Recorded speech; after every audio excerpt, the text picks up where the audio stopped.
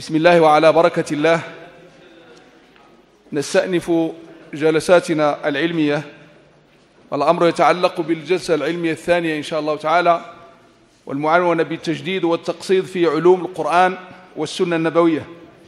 وبعدك إن شاء الله تعالى ننتقل إلى الدكتور محمد أبو يحيى وهو أستاذ في كلية الشريعة بأكادير جامعة ابن زهر.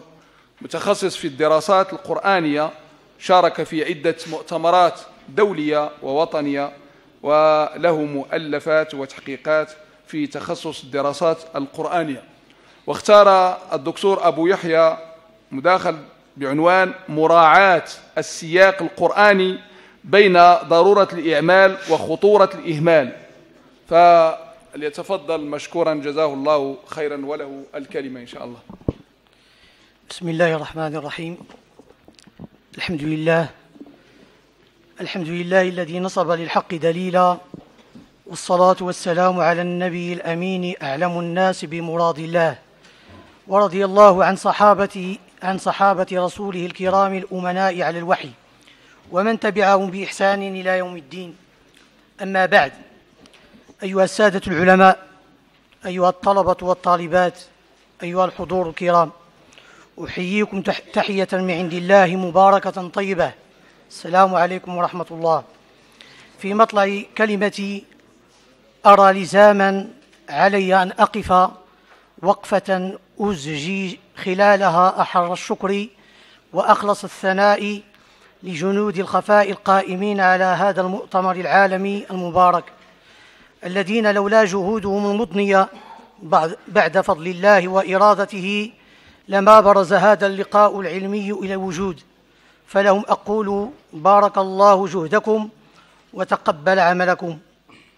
وبعد يعد القرآن الكريم رأس مقدسات الإسلام وعمدة التشريع وينبوع الحكمة يعطف النفوس إلى الحق ويلفت العيون إلى النور ويهدي الحيارى إلى السبيل القصد. فلا غرو أن ينزله المسلمون على تراخي العصور منزلة التقديس والإكبار ويعكف العلماء على الاستمداد منه تبيانا للأحكام ومدارجة للنوازل ونهوضا بحجة الله على خلقه. وإن المفسرين أحظى الناس بصحبة القرآن وأدناهم إلى مناهل الوحي وأقعدهم بمناهج فهمه وتدبره. وقد صاروا في هذا المناهج عنقا فسيحا. لا يصرفهم صارف عن التأصيل لقواعد النظر الصحيح والتدبر الأمثل. فضلا عما جادت به أقلامهم من تفسيرات شتى للنص القرآني. تفاوتت في منازعها ومشارعها تفاوتها في مقادر الإجادة والإحسان بيد أن استفراغهم الواسع في التأصيل والتقعيد لم يكن عاصما لبعض المذاهب والفرق من ركوب التأويل المستكره والرأي المذموم انتصارا للمعتقد أو نضحا عن المذهب. وإذا كانت فتنة التأويل ضر قرنها في عصور ذهبية وديار العلم مأنوسة وحملة القرآن متوافرون والاجتهاد في حياطة من القواعد وإلى ملجأ من النظر السديد فما بالك اليوم؟ وقد انكمش ظل العلم وقلت الديانة واستحكمت الأهواء وأصبح التفسير على جلالة قدره وش وشرف صناعته متنفسا لكل ذي دخيلة سيئة وعقيدة رديئة ومصداق ذلك ما يروج من دعوات إلى القراءة الحداثية وتنقيح النص القرآني. وكأنها باطنية جديدة في مواجهة الوحي المنزل. ومن هنا نرى أن الحاجة ماسة إلى التذكير من جديد بضرورة استحضار تلكم الضوابط العلمية المنهجية التي تجاهلها هؤلاء وتجاوزوها ورغبوا عنها لحاجة في أنفسهم. ألا وهي ضوابط التفسير تعقبا لكل التأويلات المعاصرة الزائغة للنص القرآني التي يزعم أصحابها أنها البديل الأمثل لتفسير علماء السلف والفهم الذي لا يزيغ إلى غير الصواب. وإن تكلفت له المحامل الباردة وذهبت فيه مذهب البواطيل كلها. وقد آثرت جعل موضوع هذا البحيث أصلا من أصول علم التفسير. وضابطا من ضوابطه المنهجية وأحد أعمدة الترجيح عند المفسرين وهو السياق القرآني تحت عنوان مراعاة السياق القرآني بين ضرورة الإعمال وخطورة الإهمال نحو قراءة راشدة للنص القرآني. هكذا العنوان كاملا. مراعاة السياق القرآني بين ضرورة الإعمال وخطورة الإهمال نحو قراءة راشدة للنص القرآني. وسعيا مني إلى تحقيق أهداف هذه الدراسة. انطلقت من جملة تساؤلات منها ما مفهوم السياق وما هي أنواعه وما هي ضوابطه ووظائفه وما هي آثار إعمال السياق وعواقب إهماله لدى الأقدمين والمحدثين. وكل هذه التساؤلات وغيرها وكل هذه التساؤلات وغيرها تدور في نطاق تلك الإشكالية الرئيسية وهي ما الدور الرئيس الذي يقوم به السياق في الكشف عن المعنى وفهم النص وضرء الوهم ومجانبة القراءة المنحرفة له؟ وبناء على ذلك ارتأيت تقسيم البحث إلى أربعة مباحث تأتي بعد هذه المقدمة. المبحث الأول السياق القرآني المفهوم والأهمية.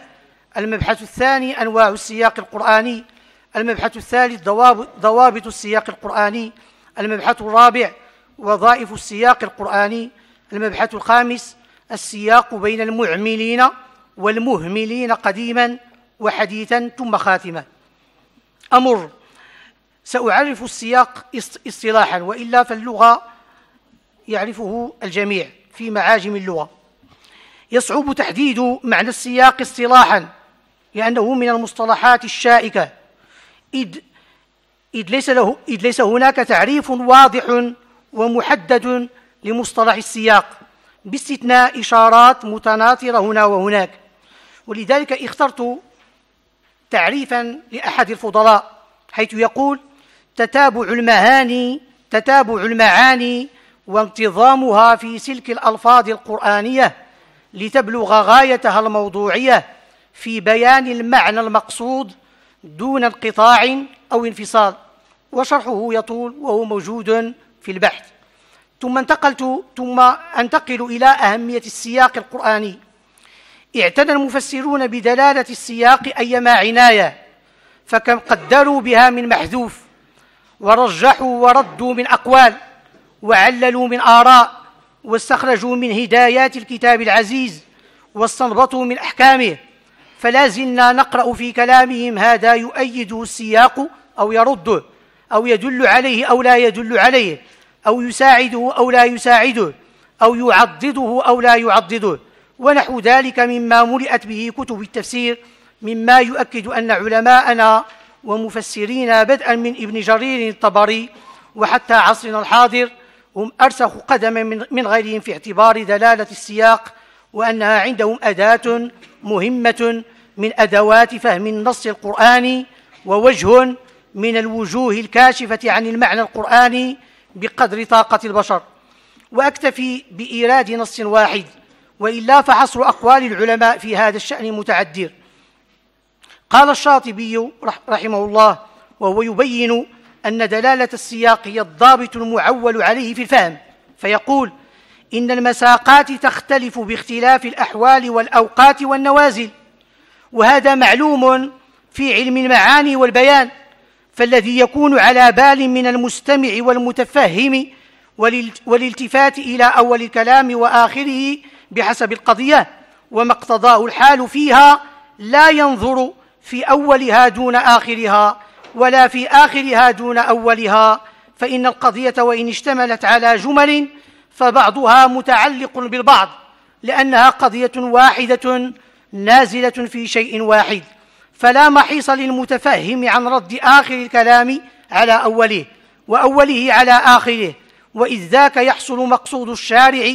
في فهم المكلف فإن فرق النظر دائما يقول الشاطبي فإن فرق النظر في أجزائه فلا يتوصل به إلى مراده فلا يصح الاقتصار في النظر على بعض أجزاء, أجزاء الكلام دون بعض إلا في موطن واحد وهو النظر في فهم الظاهر بحسب اللسان العربي وما يقتضيه لا بحسب مقصود المتكلم. فإذا صح له الظاهر على العربية رجع إلى نفس الكلام فعما قريب يبدو له منه المعنى المراد فعليه بالتعبد به. نص طويل لكنه نفيس. انتقل إلى وظائف السياق القرآني.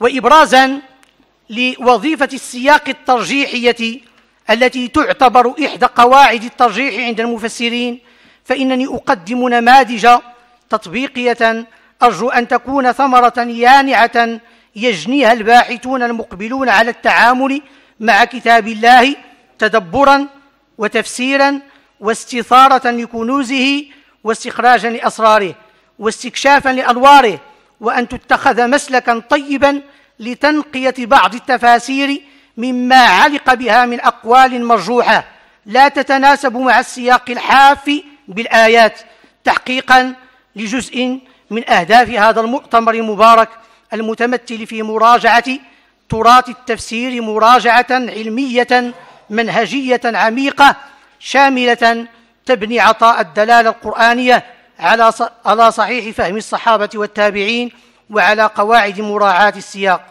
سأكتفي فقط بنموذج واحد وإلا فهناك نماذج كثيرة في البحث. ما ورد في معنى الإحصار في قوله تعالى وأتموا الحج والعمرة لله فإن أحصرتم فما استيسر من الهدي هل يكون الإحصار بالعدو أو المريض؟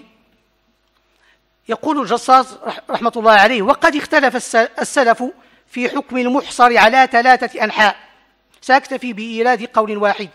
قال الثاني قول ابن عمر أن المريض لا يحل ولا يكون محصرا إلا بالعدو وهو قول مالك والليث والشافعي. ثم جاء الألوسي رحمة الله عليه فقال مؤيدا صحة مذهب مالك والشافعي معتمدا على السياق وهو الشاهد معتمدا على السياق. قال والمراد من الإحصار هنا حصر العدو عند مالك والشافعي رحمهم الله تعالى. لقوله تعالى فإذا أمنتم فإن الأمن لغة في مقابلة الخوف ولنزوله عام الحديبية. ولقول ابن عباس رضي الله تعالى عنهما لا حصر إلا حصر العدو فقيد إطلاق الآية وهو أعلم بمواقع التنزيل. فسياق الآية شاهد على ترجيح مذهب مالك والشافعي في أن الإحصار إحصار العدو دون إحصار المرض. قلت هناك ماذا؟ شواهد كثيرة يكفي هذا. المبحث الخامس خطورة إهمال السياق القرآني قديما وحديثا.